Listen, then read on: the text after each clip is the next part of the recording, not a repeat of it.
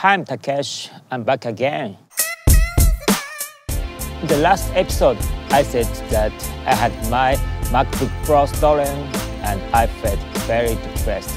I rapped about my feeling, so please check out my previous video.